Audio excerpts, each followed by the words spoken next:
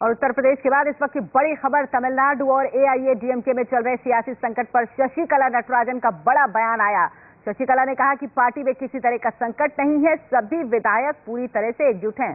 शशिकला ने दावा किया कि वो ही तमिलनाडु की मुख्यमंत्री बनेंगी।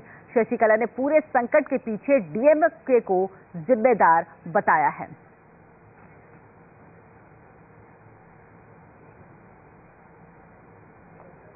उधर तमिलनाडु में सत्ता हासिल करने की शशिकला की ख्वाहिश को बड़ा झटका भी लगा है। पहले शशिकला को कार्यकारी सीएम पनीर सेल्वम ने बगावती तेवर दिखाकर झटका दिया और अब चुनाव आयोग से भी शशिकला को राहत नहीं मिली है। चुनाव आयोग ने कहा कि एआईएडीएमके के संविधान में अस्थायी महासचिव का कोई प्रावधान नहीं है। यानी चुनाव आयोग ने जयललिता की मौत के बाद शशिकला को अस्थायी महासचिव बनाने पर सवाल खड़े कर दिए।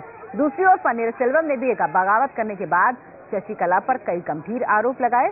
पंडित सेल्वम ने जयललिता की मौत की जाँच के लिए आयोग बनाने का ऐलान किया और कहा कि उन्हें जयललिता ने दो बार मुख्यमंत्री बनाया और अगर पार्टी कार्यकर्ता चाहेंगे तो वो इस्तीफा वापस लेकर विधानसभा में फिर से बहुमत साबित करेंगे।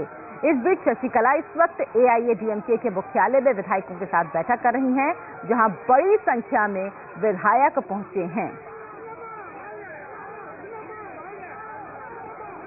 शशिकला की बैठक से पहले पन्नीर सेल्वम ने भी अपने समर्थकों के साथ मीटिंग की, जिसके बाद उन्होंने मीडिया से भी बात की। आपको बताते हैं कि पन्नीर सेल्वम ने क्या बड़ी बातें कही।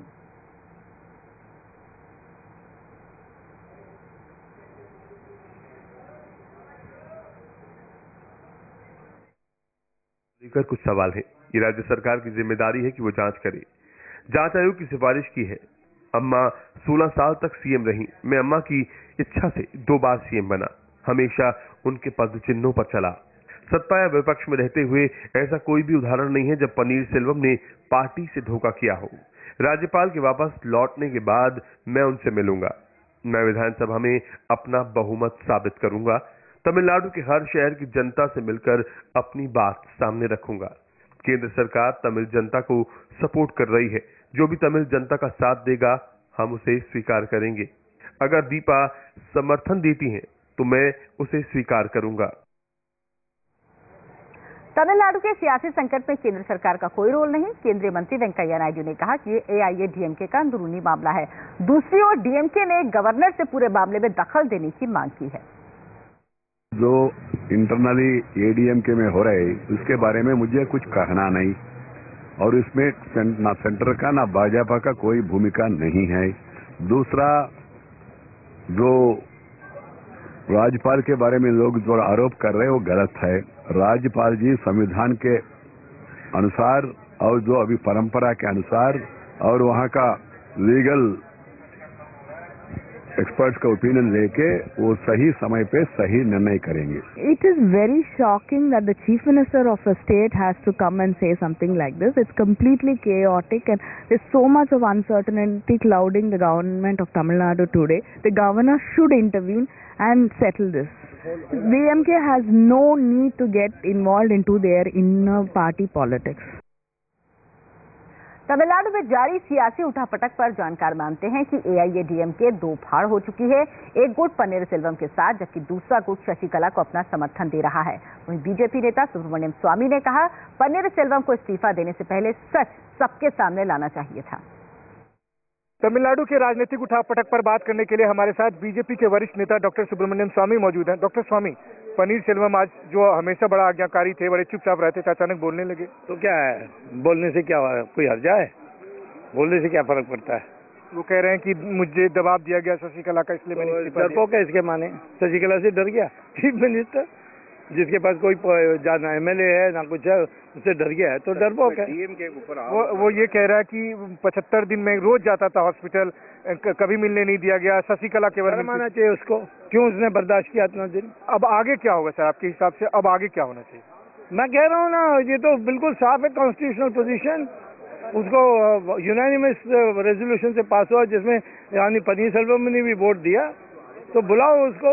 ये गवर्नर नालायक निकला मेरी ओपिनियन में क्योंकि तमिलनाडु की, की राजनीति को सबसे ज़्यादा करीब से आप जानते हैं। आपको लगता है कि उन्नीस सौ सतासी में जिस तरह हुआ कहीं डीएम एआईडीएम की दो फाड़ हो सकती है?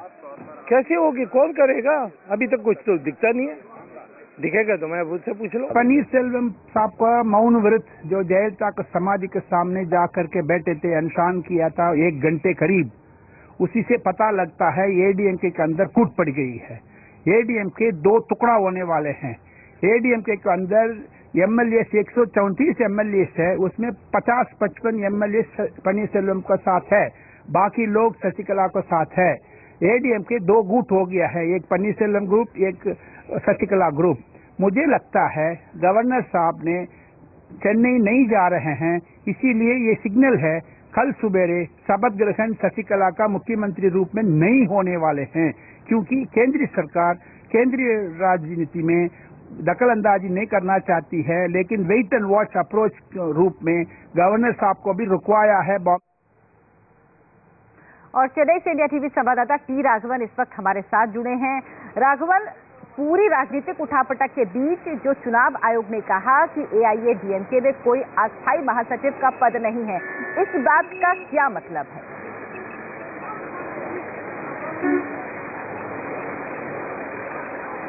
जी, देखिए, कुछ देर पहले एआईडीएमके की विधायक दल की बैठक खत्म हुई है, जहाँ एआईडीएमके दफ्तर के बाहर हम खड़े हैं। यहाँ से ये संकेत साफ़ है, जिस जिस वक्त शशिकला पार्टी ऑफ़िस के अंदर गई थी, तब उनके चेहरे पर तनाव था, लेकिन जब वो बाहर निकली तो उनके चेहरे पर उत्साह था। इससे ये अंदाज़ा लगाया जा सकता है कि कम से कम उनको इस बात का भरोसा हो गया है कि 135 में से 131 विधायक अभी शशिकला के साथ खड़े हुए दिख रहे हैं। तो इसका मतलब ये हो गया साफ़ साफ़ कि संख्या बल के आधार पर शशिकला का पलड़ा भारी है। लेकिन पनीर सेल्वम ने आज सुबह ये बातचीत उनसे कही गई, जब कहा गया कि आपके पास सिर्फ़ दो विधायक सुबह से पहुँचे हैं तो उनका ये कहना था कि अगर असेंबली में मेजोरिटी प्रूव करने की बात आती है तो वो ये साबित कर देंगे कि विधायक का जो दम है, जो संख्या बल है, वो उनके पास है। तो इससे ये साफ़ ज़ाहिर होता है। दूसरी बात, पनीर सेल्वम ने साफ़ साफ़ कह दी कि जो वहाँ पर बैठक हुई थी, जब शशिकला को महासचिव बनाया गया, वो पार्टी के कॉन्स्टिट्यूशन पार्टी के लॉ के हिसाब से नहीं हुआ। वो सिर्फ़ एक राय ली गई और उन्हें महासचिव नियुक्त कर दिया गया। वो अस्थायी महासचिव हैं।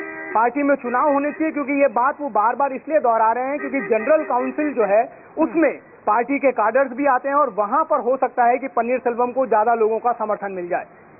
राघवन, क्या इस बात की कोई संभावना आपको दिख रही है कि वहाँ पर पार्टी दो फाड़ हो जाए? क्योंकि पन्नीर सेल्वम के समर्थन में तो विधायक नज़र आ नहीं रहे भले ही वो बहुमत साबित करने की बात कर रहे हैं। बहुत बहुत धन्यवाद आपका इस तमाम बातचीत के लिए।